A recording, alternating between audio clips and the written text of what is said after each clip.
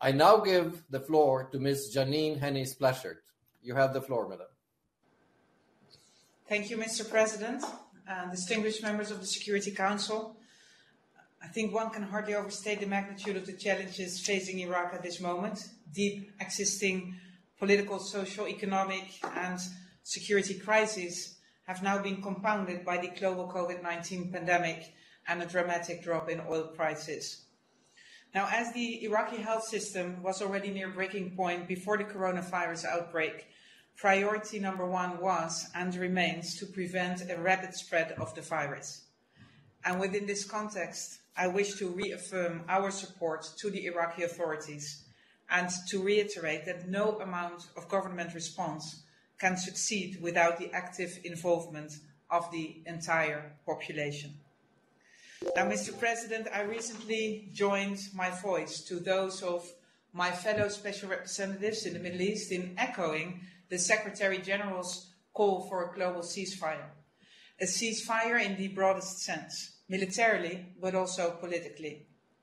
Surely, at this time of acute crisis, partisanship and narrow interest must yield to the greater national cause and the good of the Iraqi people. Unfortunately, as Iraq's economic situation worsened daily, we witnessed continued political infighting and saw three prime ministers designate in just 10 weeks. But at long last, a new government was formed last week. The Council of Representatives confirmed Mustafa Kadhimi as the new prime minister, approved his government program, as well as 15 out of 22 ministers. A long overdue but very welcome development swift completion of the remaining vacant positions, including, including the appointment of more women and minority representatives, is now necessary. The new Prime Minister's stated priorities include addressing the COVID 19 health crisis, developing and reforming the security sector, limiting the control of arms to the state, strengthening the economy, fighting corruption, advancing accountability and justice, holding a national dialogue, balancing external relations, safeguarding Iraqi sovereignty, promoting the return of IDPs to their places of origin, and working towards the conduct of early elections. Now, these worthy aspirations must be turned into action urgently. And let me emphasize Iraq does not have the luxury of time, nor can it afford destructive petty politics. Now, while the new government entered office just a few days ago, its first decisions are promising, I have to say. But one does not need a crystal ball to understand that the road ahead will be fraught with many complex challenges. And as I've stated and shared many times with you, Iraq's challenges did not arise overnight. Moreover, they are larger than any single government. It is therefore most important to manage public expectations. There will be no sudden miracles. Equally important is a broad based response, a response involving the entire political class and all communities, acting with a clear sense of unity and urgency, focused on building domestic strength, prioritizing the national interest. Now, Mr. President, the COVID 19 pandemic forced the streets to calm down, but with public trust at an all time low, the Iraqi people calling for a more prosperous and inclusive Iraq will not just let go.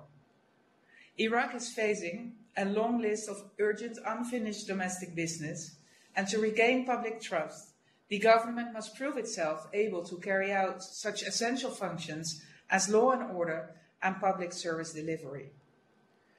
On the issue of early elections, although they are a top priority for many, Parliament has not yet concluded, completed its work on the electoral framework. In particular, the contentious issues of constituency delineation and seat apportionment. I also wish to reiterate the pressing need for accountability and justice for the many, many deaths and injuries of innocent protesters. Allow me to say that we are encouraged by the early actions taken by the new Prime Minister, which demonstrate his eagerness to move these important files forward. The economy, Mr. President, the current economic situation has, one, has once again laid bare Iraq's vulnerability due to the grave lack of economic diversification. Iraq's monthly oil revenues dropped from 6 to 1.4 US billion US dollars between February and April. And at a time when the global financial system is being drained from all sides, it will be harder than ever to access international funds. On top of this, necessary curfews, necessary to contain the COVID 19 pandemic, they have brought commercial activity to a near standstill, imperiling the already problematic livelihoods of many Iraqis who rely on daily earnings to feed themselves and their families. Now, the need to broaden Iraq's revenue base could not be more apparent. Time and again, it has been made clear that Iraq should reduce its oil dependency, repair and upgrade critical infrastructure, tackle its ballooning, inefficient public service, build viable and responsive state institutions, combat patronage and clientelism, fight corruption, and incentivize the domestic private sector while attracting foreign investment. Iraq has clearly and repeatedly encouraged, has been encouraged to build a healthy environment that is conducive to broad based, fairly distributed growth and employment generation. Not in isolation, but with the assistance of the World Bank, the IMF, the United Nations, and many other partners. But without adequate follow up, the country will sadly remain ill prepared to manage these acute shocks. The economy is projected to contract by 9.7% in 2020, with poverty rates increasing to approximately 40%. Considerable losses in labor income are foreseen, as well as a decrease in economic opportunities. Now, it is essential to restate that corruption is perhaps the greatest source of dysfunction in Iraq. It works against the everyday Iraqi women and men, and it also puts off donors and potential investors who are increasingly fed up with fighting the system for a chance to help the country. Turning to security, Mr. President, domestic, regional, and international security developments continue to impact the country. Inflammatory rhetoric and a pattern of attacks and counterattacks on Iraqi soil are obviously unproductive and most regrettable. Although these, fortunately, appear to have tapered off in recent weeks, they do remain a constant threat to the stability of the country. And I can only emphasize the way armed elements, armed entities with differing ties to the state choose to act in this moment will determine how Iraqis and indeed many others will perceive them. Once again, Iraq cannot afford to be used as a theater for different power competitions and or proxy conflicts. Also critical is the prevention of any attempted resurgence of violent extremism. ISIL must not be given room to step up its activities. And we all know that the best form of counterterrorism is for the government to provide for its citizens, addressing the root causes that continue to allow groups like ISIL to exist. I'm now turning, Mr. President, to humanitarian concerns. Like last time, we cautiously welcome ongoing efforts to improve access authorization for humanitarian workers, especially NGOs in Iraq who provide life saving services. Now, humanitarian partners need access letters to pass through the multiple security checkpoints in their areas of operation. Unfortunately, so far, many access requests remain unapproved. Currently, access is even more constrained due to COVID 19 related movement restrictions, adding another layer of complexity.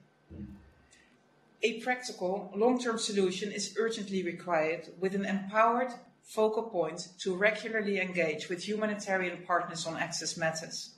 And I sincerely hope that Iraqi authorities will now act without any further delay.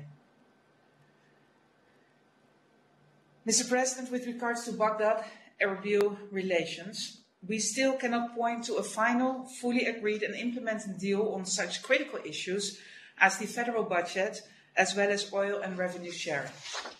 On the contrary, I have to say, we recently witnessed movement in the opposite direction, as the previous federal government announced it would hold payments to the Kurdistan region, affecting civil servant salaries. Now, regardless of what one thinks of this decision, the timing was most inopportune. Negotiations between Baghdad and Erbil are ongoing, and I can only emphasize that a long term sustainable approach is urgently needed. And of course, for any sustainable solution, it takes two to tango. On Sinjar, many promises, but so far no signatures, let alone implementation, with the Yazidis notably paying the price. Now, in the Kurdistan region, as elsewhere in Iraq, transparency, the freedom of expression, fundamental reforms, fighting corruption are of critical importance, as is political unity. And recent internal tensions do not serve the interests of the Kurdish people, far from it. I'm now turning to the issue of missing Kuwaiti third country nationals and missing Kuwaiti property, including the National Archives. Notwithstanding significant advances of late, most recently the discovery of human remains in a third grave in Samawa site in January, COVID 19 has also impacted this file. The meeting of the technical subcommittee planned for 20 April, as well as other activities, had to be postponed. Kuwait authorities were nevertheless able to carry out excavations on burial sites in Kuwait as planned during the last technical subcommittee in February. I would like to encourage all members of the tripartite committee to follow this example, working together to identify other innovative ways to overcome current constraints and adapt to the new reality. And Mr. President, in closing, I would like to return to the courageous conviction expressed by countless Iraqis in recent months. Their hopes, their demands remain burning issues and I very much hope that they will guide the new government. I sincerely hope that no party, person, or entity will be allowed to hijack the legitimate demands of the Iraqi people. And with this in mind, I wish to salute Grand Ayatollah Sistani, whose calm wisdom serves as an example to us all. Now, I remain convinced that a more just, prosperous, and resilient Iraq can emerge from the current compounded crisis. But for that to happen, political will is fundamental. As I said last time, Iraq moves, must move away from endless crisis management towards a more productive approach, building resilience at both the state and societal level. Short term political and private calculations do not serve Iraq's long term interests, on the contrary. And yes, the challenges are many, but so are the opportunities. And I would like to reaffirm the continued support of the United Nations, our support to the people of Iraq, and to Iraq's new government. Thank you, Mr. President. I thank uh, Ms. Hennis Plasschaert for her briefing.